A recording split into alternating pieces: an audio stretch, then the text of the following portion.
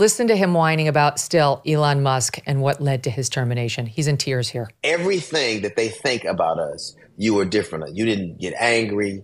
You weren't a victim. You didn't blame. You just did.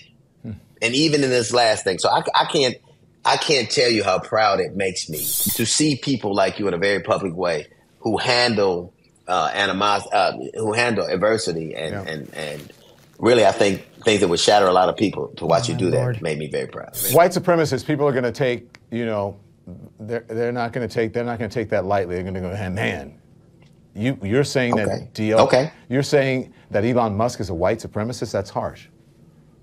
I'm saying I'm saying yes. I didn't see a tear. He grabbed a tissue and dabbed at his eyes because we have to feel sorry for Don because while Elon still lets him platform on X, he doesn't want to pay him the $5 million a, a year anymore because he, he got to know Don. That's why.